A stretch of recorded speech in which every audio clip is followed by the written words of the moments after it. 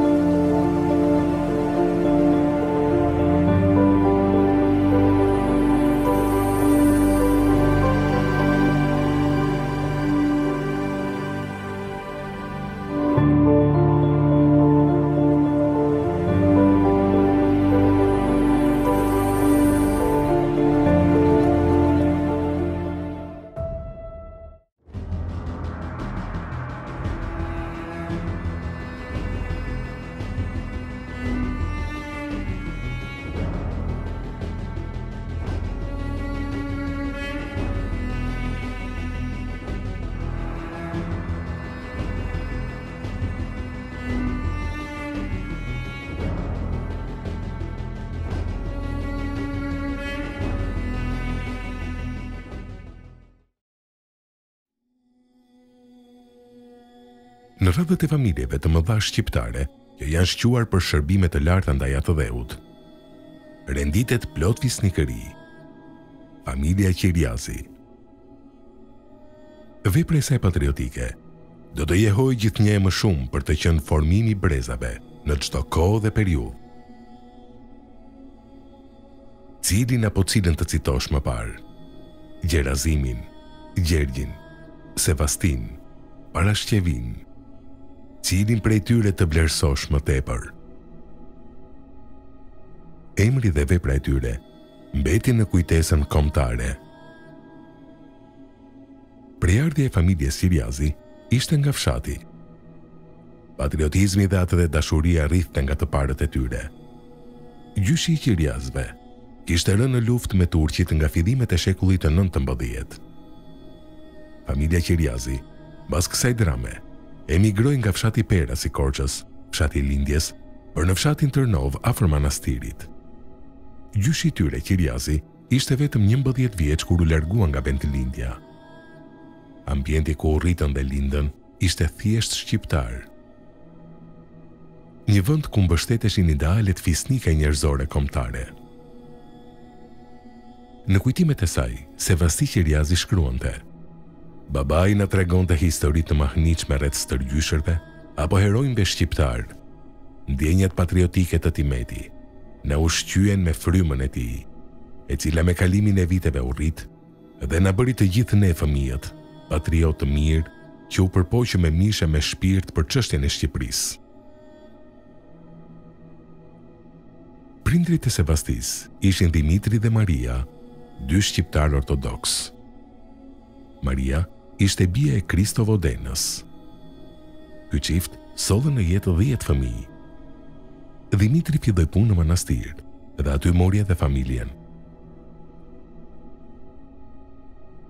Ju jeni mbesa e Sevasti Qiriazit, apo jo? Është kënaqësi e madhe që të flas për paraardhësit e mi, unë stërmbesa e Sevastisë dhe Kristo Dakos. Me thënë babai im, Robert Dako, është nipi i, i kopjes patriotike Sevasti Qiriazi dhe Kristo Dako. Ju keni një veprimtari të gjerë lidhur me zbardhjen dhe uh, publikimin e dokumentave uh, autentike të figurave të mëdha, në këtë rast të Sevasti Qiriazit, Parashqevi Qiriazit, Gjerazim Qiriazit. Uh, çfarë Informacionesh ose çfarë të vërtetash mund të na thoni ju për jetën e tyre, për aktivitetin e tyre, për atë çfarë ata ndërtuan. Tash ti veprimtaria e tyre është tepër e gjerë dhe siç të themi përmbledh dhe përfshin dy shekuj. Domethënë fundi i shekullit të, të viteve 1800-s dhe fillimin e viteve 1900 deri në në në mes të shekullit 1900. Unë personalisht kam pasur kënaqësinë të jetoj me gjyshin tim, Skënder Dako. Shumë nga tregimet dhe të jetës së prindërve më kanë kanë ardhur nga, nga gjyshi im, por një pjesë shumë e madhe ka ardhur edhe nga një studim kërkimor që ka bërë nëna ime Zana Sheo, historiane dhe që është marrë pikërisht me historinë, historiografinë e, e familjes. Kështu që unë jam rritur ndërmjet dy aspekteve, njëra historike e dokumentuar dhe nga ana e studimeve që janë të nënës sime dhe tjetra një trashëgimi gojore e e e kaluar brez mas brezit. Le ta nisim me të parin e familjes Qiriazi. nuk ishte një, ishte e, kopja, si të themi, e Dimitri dhe Marisë, ishin prindërit e, e, e dhjetë fëmijëve, të Gjerasimit, të Sevastisë, Parashqevisë, Kristot, Gjergjit e të të fëmijëve të tjerë. Kush ishte Amut... Maria dhe bashkëshorti i saj? Ishin dy shqiptarë ortodoksë me bindje të thella shqiptare, të cilët, siç thoshte dhe Sevastia për prindërit e tyre, ishin babai i saj ishte një lider për komunitetin shqiptar ortodoks në në në Manastir. Ku kishin lindur? Ka qenë një një shtegtim nga një vend në tjetrin ndaj persekutimit turk. Kështu që po, një një kishin një vendlindje aty. Cili Peras në në Korçë, pastaj janë transferuar në Manastir ku aty kanë jetuar me të 10 fëmijët. dhe e fundit nga fëmijëve ishte Parashqevia, që njihet për aktivitetin e saj patriotik, më e vogla, por jo ajo që ka dhënë më pak në, në familje. Kështu që kjo kopje e, e prindërve ishte shumë avanti për kohën me mentalitet si kulturor, social, sepse ishte një kopje që jetonin barabartë. dhe i kanë rritur dhe fëmijët me këtë koncept të respektit dhe për këtë ne nuk habitemi si mund të dalin dy gra dhe të bëjnë një aktivitet kaq të gjerë dhe të madh pa kuptuar se brenda familjes kishin një një po kishin një raport të barabartë dhe i kanë rritur dhe fëmijët dhe djem e vajza me të njëjtat të të, të drejta dhe vajzat janë edukuar në shkolla si djemtë edhe ajo raporti ndërmjet vëlla e motër ishte komplet e, e ndryshme, ishte një raport i barabartë. Ju thatë se në familjen Qiriazi erdhën në jetë 10 fëmijë nga çifti Maria dhe Dimitri. Gjerasimi është, si të themi, ai që iniciatori, iniciatori dhe që u mbështet më shumë nga nga nga babai. dhe ishte, si themi, ai që një çik aktivizoi në mënyrë më konkrete ose shkruajti, të themi, atë aktivitet. Siç e thotë dhe Sevastia, ata kanë në Manastir kanë kanë angazhuar të tërë komunitetin për të drejtat e shqiptarëve sidomos të komunitetit ortodoks, por nuk ishte mundur që të shkrueshe në gjuhën shqipe. Sevastia e thotë qartë që në familje ata flisin pesë gjuhë në mënyrë korrekte të tërë fëmijët dhe shqipin e flisnin vetëm në shtëpi, se ishte e ndaluar. Dhe kështu që Gjerasimi ishte nga njëri nga ata fëmijët që hodhi, diçka, të themi, shkruajti diçka mbi këtë aktivitet që bënte familja. Sevastia për shembull e, e, e risjell shumë herë që prindi Dimitri dhe nëna e saj gatuanin për tërë tërë të burgosurit politikë në Manastir dhe ajo gatuante dhe çonin në, në burg ushqimet për të burgosurit. Po kjo ishte diçka jashtë ligjeve, jashtë asaj çfarë jashtë ishte. Jashtë jashtë ishte sepse ata ishin aktiv kundrejt sundimit turk dhe e kundërshtonin në të gjitha format dhe komuniteti shqiptar ishte shumë aktiv sidomos për të kërkuar të drejtat dhe në atë kohë ishte e ndaluar që të flisje shqip ose të bëje meshën në shqip familja kishte krijuar ndërtuar edhe një kishë ortodokse familja në Qiriazi, ku edhe aty nuk ishte e drejtë që të shkrueshe ose të predikoheshe në shqip. Dhe në fakt, në qoftë se do të shikojmë edhe murin e, e hyrjes së kishës ose të shkruajturat, janë të tëra në shqip po të shkruajtura me letra greke, sepse nuk ishte e lejuar. Dhe tërë familja mbështeste këtë lëvizjen që ishte në, në Manastir për të drejtat e, e, e shqiptarëve. Dhe kështu mbështesnin dhe atë shokët dhe miqtë e familjes, të cilët ishin të persekutuar në atë kohë dhe mbushnin burgjet turke sepse kundërshtonin atë pushtimin turk. Ne u futëm tek gjeneza e familjes Qiriazi për të kuptuar se këta 10 fëmijë ose këta personazhe të cilët janë tashmë publik, nga kush familje vinin. Por Dimitri dhe Maria ishin prindërit e 10 fëmijëve. Këta sigurisht që jetën e tyre nuk e ndërtuan në manastir, pavarësisht se u shpërngulën nga Korça për të mbritur në manastir. Pse ndodhi kjo shpërngulje e tyre? Në në jug të të Shqipërisë, siç e dim shumë mirë, uh, një tjetër forcë e errët dhe agresive ishte patriarka greke, që ishte një forcë politike.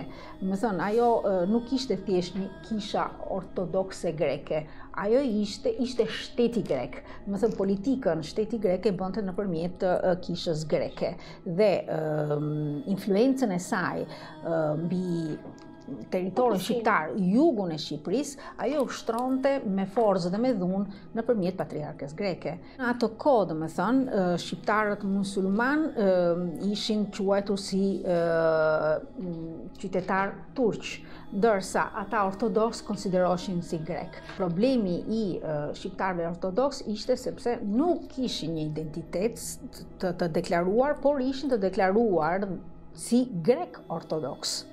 Kështu që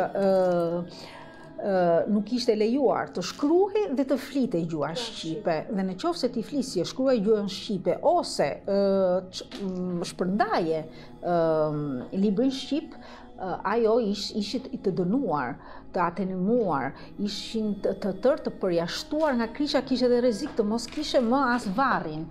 ku ku mund të, domethënë, mbas vdekjes që të zhdukesh dhe eshtrat. Kështu që një luftë e jashtëzakonshme kundër këtyre dy forcave të jashtëzakonshme, siç ishte Imperi Turk dhe kisha greke, me të vërtetë t'i shkoje, domethënë, kundra, ishte me të vërtetë një, një rrezik i jashtëzakonshëm dhe të mbaje këtë këtë këtë peshë dhe, dhe patriotizëm dhe, shumë i rrallë. Shumë i rrallë dhe ishte ishte e deklaruar që ishe një një martir nesër ose pasnesër sepse të shkoje kundër këtyre dy uh, forcave nuk nuk ishte mundur që të të të, të ishe domethënë i lirë dhe të, të, të bëje këtë aktivitet. Ne kemi historinë e shumë martirëve, si dhe Negovani,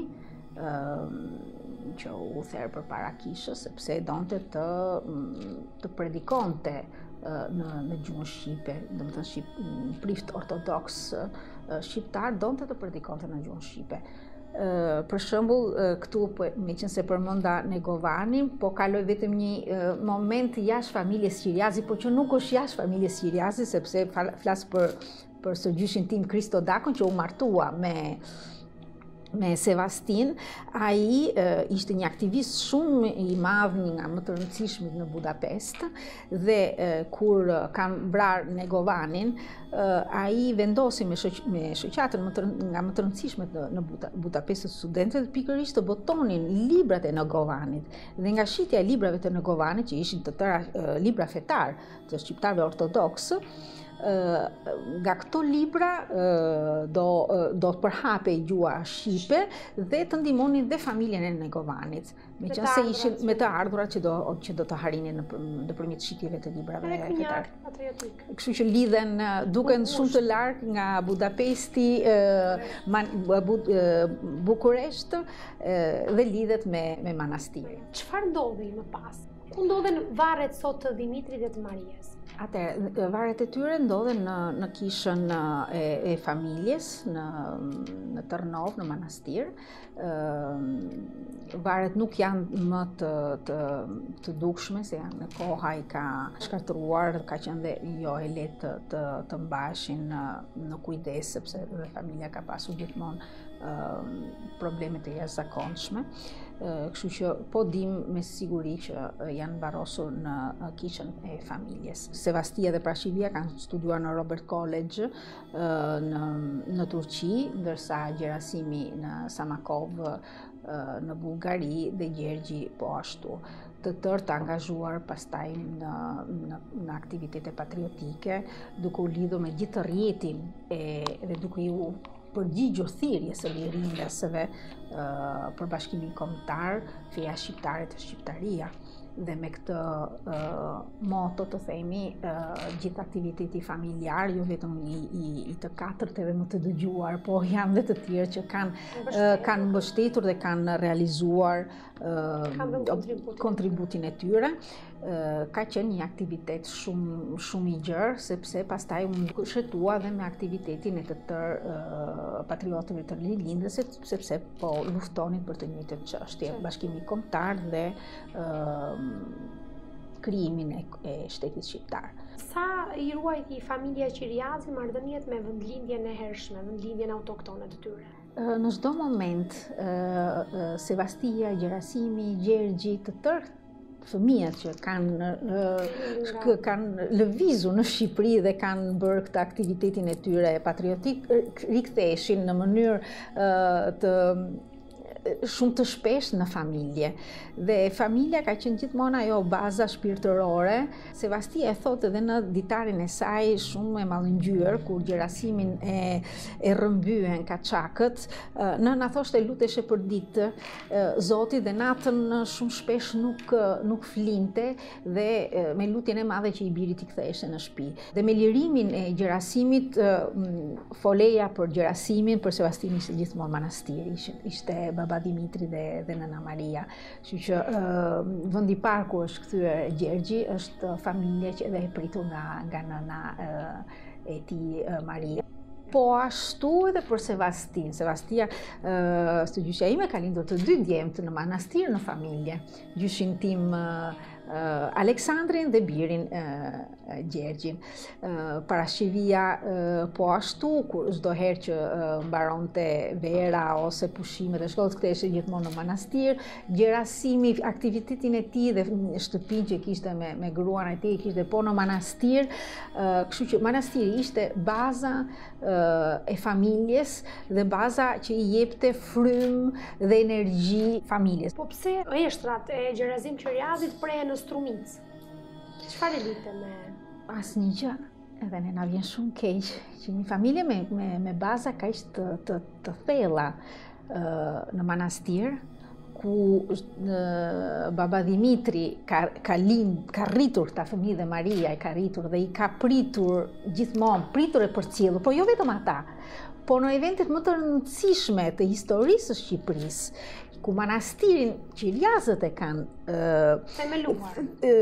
krijuar të themi, janë mbledhur në Manastir, kanë ngrënë në Manastir, vetëm të, të, të flasim për, për uh, Kongresin e Manastirit, uh, që iniciatori ishte Gjergj Qiriazi, në shtëpinë e Gjergjit, kanë ngrënë, kanë pirë, kanë mbajtur konferencë, kanë, uh, kanë qenë mbledhjet më të rëndësishme për vendosjen e alfabetit.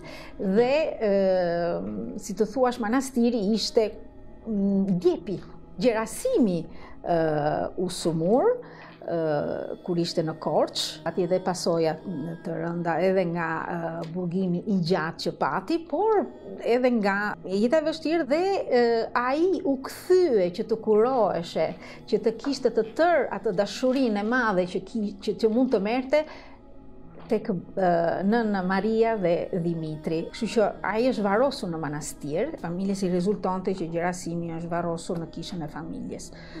Por ajo që na vjen shumë keq, meqenëse ne jemi një familje me tradita shumë të thella dhe kemi pasardhësit tanë në Manastir që jetojnë akoma, që kanë veprimtarinë e tyre dhe për më tepër akoma sot Ka një përndjekje të jashtëzakonshme ndaj familjes Qiriazi që ndodhet në Maqedoninë e Veriut.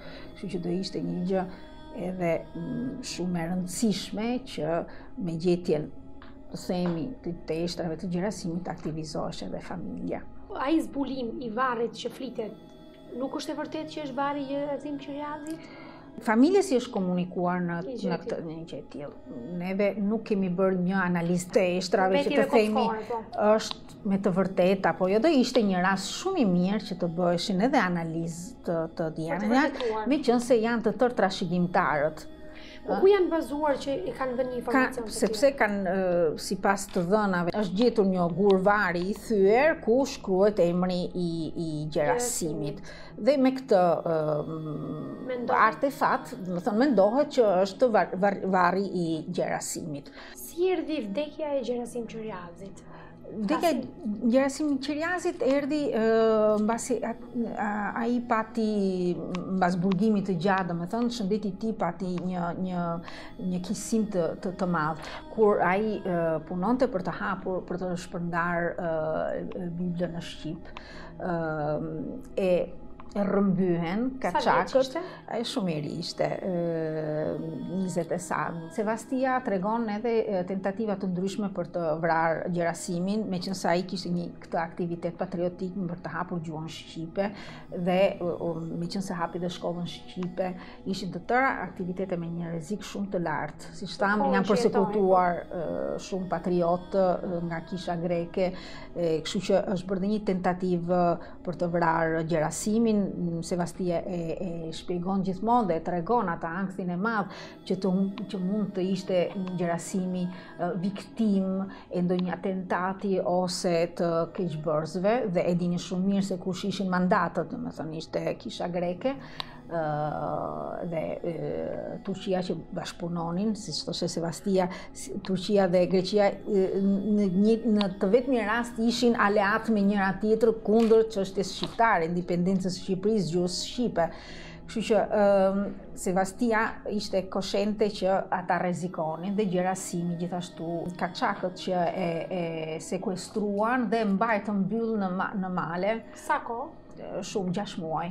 6 mhm. muaj dhe atje duke fjetur jashtë natën në në kushte të të të tepër të këqija, të me po me me ushqim tepër të keq e kështu u shëndeti i tij u dhe në fakt ai fatkeqësisht e misionin që nisi me Sevastinë për hapjen e shkollës së parë shqipe të vashave ai e ndoqi shumë pak, domethënë sepse vdiq në 1894.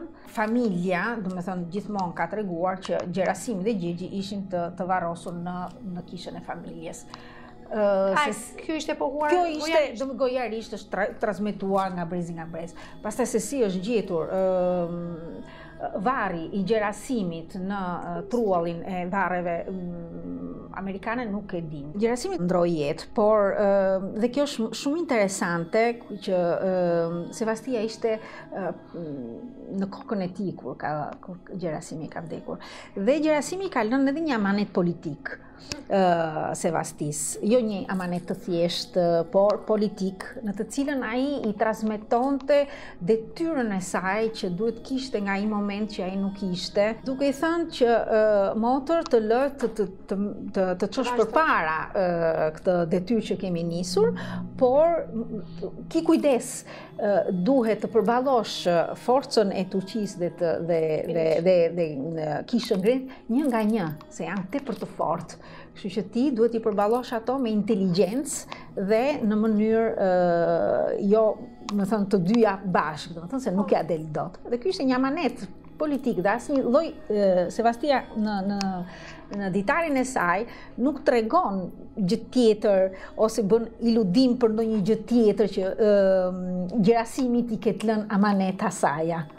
I vetmi amanet është një amanet të ndiqte gjurmët për për mëmëdheun, për kombin dhe thuhet që ka një një duhet të kishte një vjershë shumë të bukur të të të gdhëndur në varrin e Gjerasimit, ku edhe aty përmendet në mënyrë shumë realist realiste uh, ideali i tij, mëmëdheu, mëmëdheu e, e përmend edhe në këto vargjet që thuhet që i kanë gjetur në kur ka vdekur, uh, edhe ia kanë gdhendur në varr.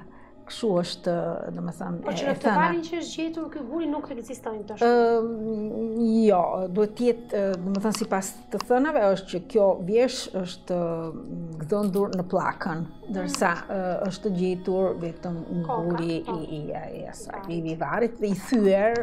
Qoftë se ka grua patriote në Shqipëri, grua patriote, me aktivitet të gjerë patriotik, janë vetëm këto dy motra, Parashqevi e Sevasti Qiriazi. Për vetëm një arsye se janë gratë më të shkolluara, gratë që kanë punuar për emancipimin e gruas, mjafton të kujtojmë që ato kanë krijuar organizatën e parë Ylli Mëngjesit për gra në 1910-ën, po kështu një revistë që më vonë e hapën revistë, Parashqevia është ndër ato që ka krijuar ka hymnin e alfabetit.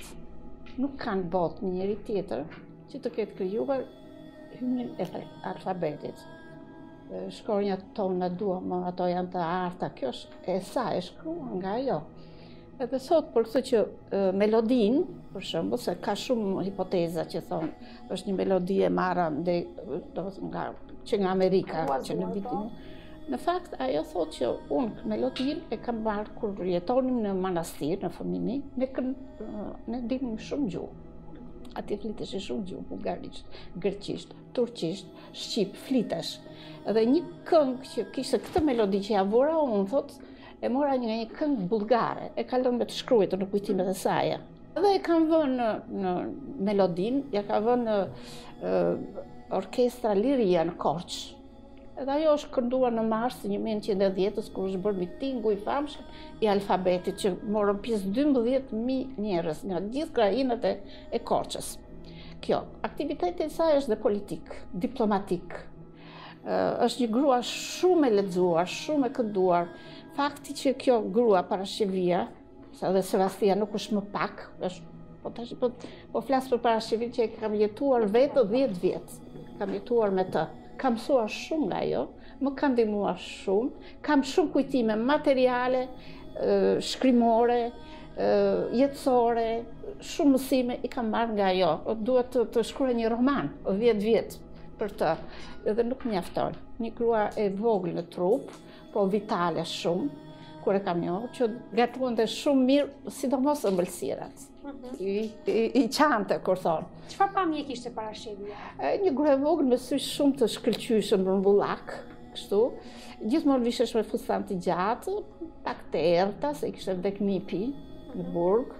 Motra po ashtu, po ajo e nipit, atë të nipit e, e, vuante shumë, e vuante shumë atë të nipit, sepse të ikësh 30 vjeç, një djalë që të cilin e kishte rritur vetë, në, ka kaluar nëpërmjet kufomave, kur kanë kaluar nga Manastiri, nga Korça në Manastir, në Manastir ka kishin hyrë serbët, kishin hyrë grekët, në një turqit që falimentuan atje në, në Korçë, në në Manastir, se ishte qendër e vilajetit dhe aty ishte gjithë ushtria turke që pësoi ë ë pësoi humbjen më të madhe atje, disfatën më të madhe atje, edhe kjo ishte detyruar që të kalonte aty të kuronte ushtarët turq. Atje me dy fëmijë të vegjël. Profesion Parashqevia në profesion Parashqevia e kishte mbaruar Women's College, domethënë kolegjin siç ishte ai Robert College, kjo ishte për femra, Në kishte mbaruar të lartën atje. Bile viti fundit u bë kolegj, se kjo hyri për shkollë të mesme atje. Mhm. Edhe u bë kolegj. Ishte një një në profesion një Sevastia. Po, ishte mhm. Sevastia, ishte mësuese në pedagogji. Parashqevia? Parashqevia, po kështu. Parashqevia mhm. Parashqevia, më pastaj mbasi mbaroi këtë kolegjin në në Stamboll, si si dhe Sevastia, shkoi bëri 2 vjet në në Oberlin, Ohio, Në Shtetet e Bashkuara të Amerikës, bashkë me Kriston të dy, kunata me kunatin, si i thonë, edhe bënë atje për pedagogji. Atje shkruajti programin e parë, e kishte si për temë diplome, për zhvillimin e arsimit në Shqipëri në pushtimin Osman. Edhe aty për herë parë unë lexova që ajo në programin e saj kishte dhe Kopsht për fëmijë, edhe shkruan Kindergarten, garden në këtë gjuhë, si gjermanisht, domethënë, edhe pastaj, si ishte përhapur, domethënë, arsimi austriak në, Shqipëri, në Shqipëri, italian në Shqipëri, turk në Shqipëri, grek në Shqipëri, bën një analizë në temën e diplomës në Oberlin, dy vjet aty, nga viti 11, deri në 13, kanë qenë atje. Aty ka, ka bërë konferenca nga më të ndryshmet në kolonitë shqiptare, mund të jenë 13 koloni shqiptare atje dhe ajo në të 13 bashkë me Kriston, bashkë me Sevastinë, kanë mbajtur konferenca ku kanë kanë folur për origjinën e shqiptarëve, kanë folur për për të gjitha problemet në Shqipëri. Në ato kohë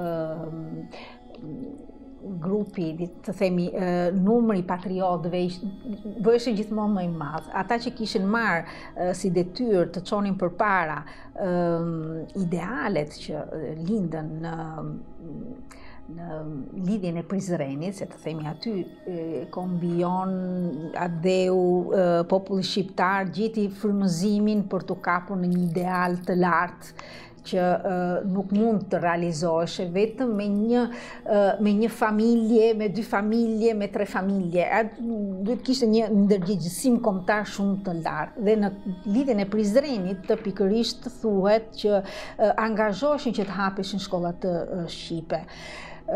Pse ishte e rëndësishme që të hapeshin shkollat shqipe. Ne tashti mund të mendojmë, mund të hapet, mund të hapim një shkollë, dy shkolla, por në ato kohë nuk ishte një akt i thjesht administrativ, aty ishte një akt thellësisht kombëtar, politik, në të cilën edhe Lidhja e Prizrenit e kishte kuptuar shumë mirë, domethënë që kombi mund të të krijoshe, ose mund të merte formën e tij, domethënë që njifet si shtet, shtet formimi, edhe me një nga organet më të rëndësishme, arsimin, kulturën, Domethënë, ne në atë kohë të mendojmë që pjesa më e madhe e popullsisë shqiptare, nuk luftonin për territor, po luftonin për dijen, për atë çfarë duhet të personalizojë një komb. Komb. Kështu që ata e kishin kuptuar shumë mirë që në qoftë se feja e shqiptarit është shqiptaria mund të formoshe një komb. sepse fqinjët tanë shumë të zgjuar dhe dhe dinakë të themi të drejtën kishin qëllimin që të dilin në Adriatik dhe vetëm një bashkim i kombit në një gjuhë në njëjtën gjuhë, ishte vetëm një mënyrë për të, për të shpallur haptazi identitetin dhe qëllimet e formimit të një shtet kombi. Kështu që nga Lidhja e Prizrenit, Ky qëllim e bënë të vetën çdo patriot që kishte, domethënë, dëshirën e madhe të kontribonte po dhe të jepte jetën për këtë ideal. Familja Qiriazi bënte pjesë në këtë program të madh. Po që shpërndaj. Po që shpërndarë gjithandej. Dhe të themi që me të vërtetë në 1891 është hapur shkolla e parë e vashave në Korçë. Po mos harrojmë që më përpara në 1887 është hapur shkolla shqipe në në Korçë dhe e, e, dy vjet Gjerasimi ka dhënë mësim në atë shkollë. Kështu që projekti, sidomos në Shqipërinë e Jugut, ishte shumë i i i i avancuar, kishte një pikë i avancuar, ishin her. ishte Petro Nini Luarasi, ishin një sërë patriotësh që që që bashkëpunonin në mënyrë intensive me njëri-tjetrin. për të hapur dhe për të ngritur këtë rrjetën e këtyre shkollave, edhe fshat më fshat. Rëndësia mbase dhe ajo veçantia që mund t'i japi diçka më shumë, ishte sepse në këtë aspekt u, u pasi qëllim të, të, të arsimoshe edhe gjysma tjetër e kombit shqiptar që ishin gratë. nuk mund të emancipoheshe ose të, të arsimoshin vetëm pjesa e, e, e, e burrave, por duhet krah për krah të të arsimoshin edhe gratë. Dhe kjo ishte edhe një nga mesazhet më të rëndësishme që Naimi i ka dhënë Sevastisë kur ajo mbaroi uh, universitetin në Stamboll. Naimi i tha, ti nuk mund të bësh motra ime një gjë më të mirë sesa të, të arsimosh dhe të të ja, të, të shkosh. Dhe është interesante që në, në edhe në në në kujtimet e Sevastisë, kur ishte e vogël, thoshte, unë isha e prirur për të isha, isha mësuese, thotë, dhe ajo i realizoi këtë ideal bashkë me vëllain Gjerasimi vetëm 10 vjet më vonë. Sapo mbaroi universitetin në në në në Turqi, ajo hapi shkollën me të me të vëllain Gjerasimin. Kështu që ajo ë që u hap, u shpërnda sidomos në zonën e, e jug të Shqipërisë, në ko, nga Korça, fshatra dhe të tëra rrethet përqark me shkolla të tjera, ishte një ë një luftë e përditshme e patriotëve shqiptarë që për ditë dhe çdo ditë çdo rrezikonin jetën e tyre mos ta mos dhe familjet mos ta harrojmë persekutimet e jashtëzakonshme që kanë uh, hasur gjatë veprës së tyre uh, veprimtarisë së tyre kështu që uh, jugun nga këta nga kjo anë të themi u u bashkangjitën një sërë patriotësh dhe bash, u bashkëpunuan për të mbajtur hapur këto shkolla në qoftë se shkolla e Korçës nuk u mbyll Sevasti e thotë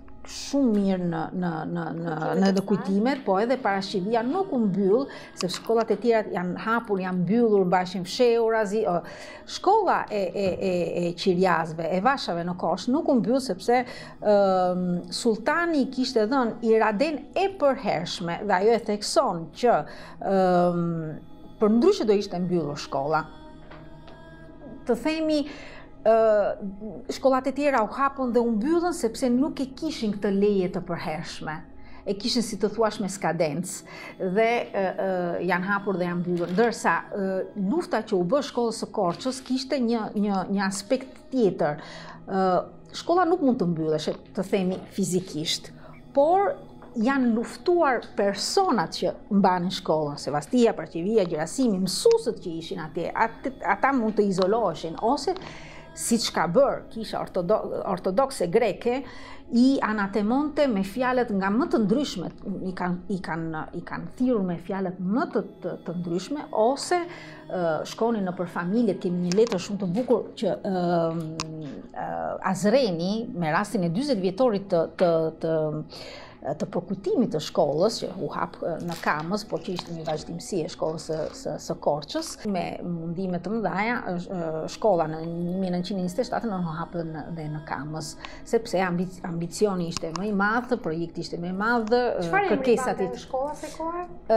Shkolla mbante instituti Kirjaz. Dhe Kirjaz, sepse e shkruan në disa herë e shkruan me K dhe po. dhe me Q shkruheshe në shqip.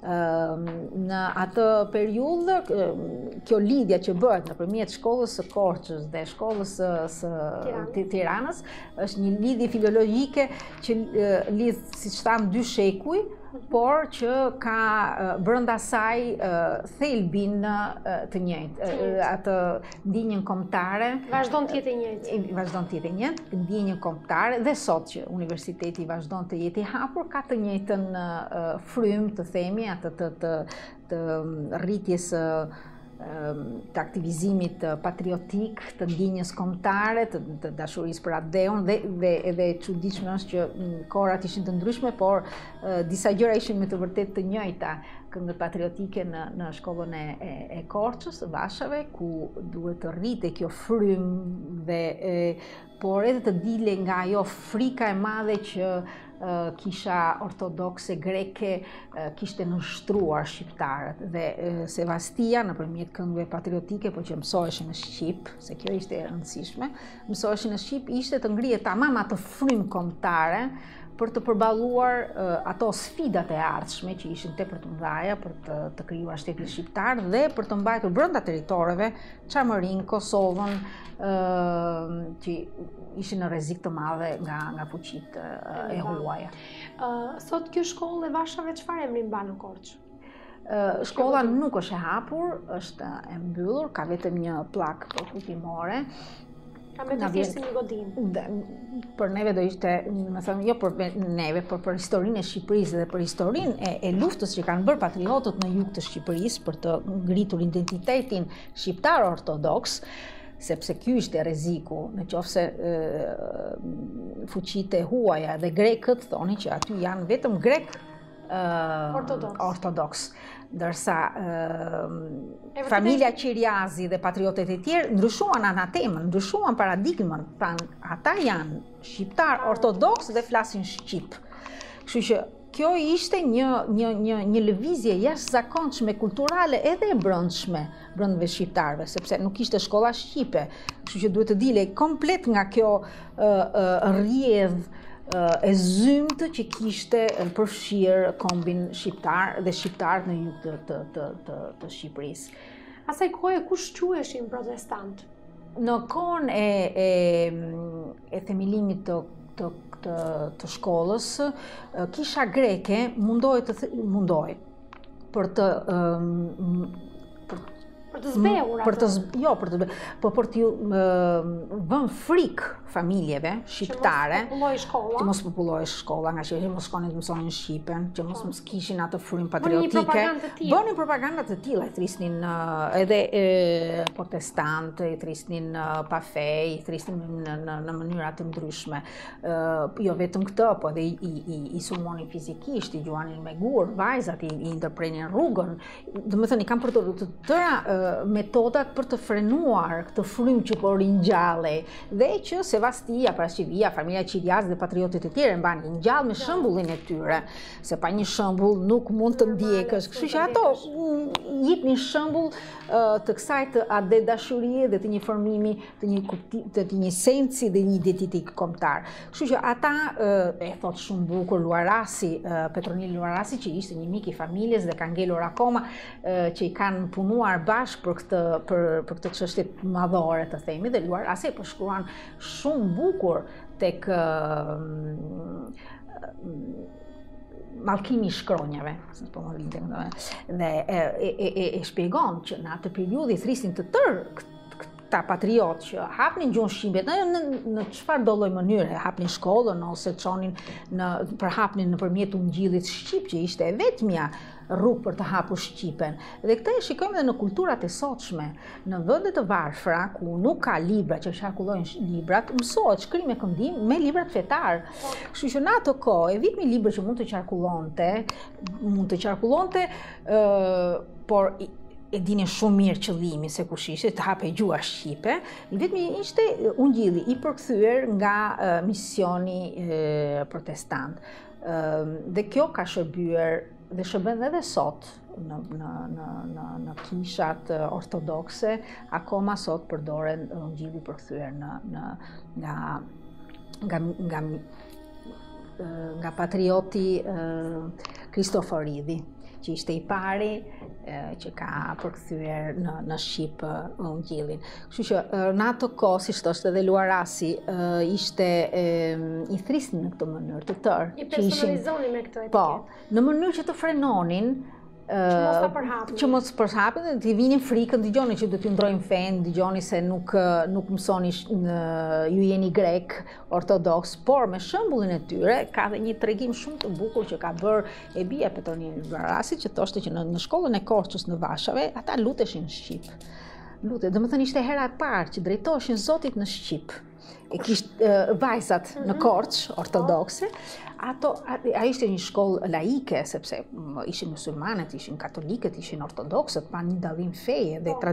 tradita ka vazhduar gjithmonë në këtë shkollë, sepse qëllimi ishte bashkimi kombëtar, pa dallim feje, kështu që nuk ishte qëllim tjetër. Kështu që ato vajzat e përtonit e thoshte, ishte hera e parë që ne shkonim shpi më shpi të luteshim në shqip, se në kishë nuk mund të luteshe. Nuk mund të luteshe. Po. O, përndryshe do kishin një persekutim të jashtëzakonshëm, ose familjet do kishin jo vetëm që nuk i lejonin të shkonin nëpër shkolla, por nuk i lejonin të merrnin pjesë edhe në aktivitetet shoqërore të, të, të komunitetit, ose edhe nuk i lejonin që të varroseshin në varrezat ortodokse. Sevasti, Parashqevi, Kristo, Gjerasimi, Gjergji, të kujtohen për atë që kanë dhënë jetën, çdo minutë të jetës së tyre. Të kujtohen dhe të respektohen dhe mos të kalojë asnjë lloj kufiri jashtë asaj që ato kanë dashur me gjithë shpirt që të realizohet. Vetëm ky komb, ky at Këto i kanë trashëguar brez mbas brezi. Të tjerat nuk janë historia e tyre.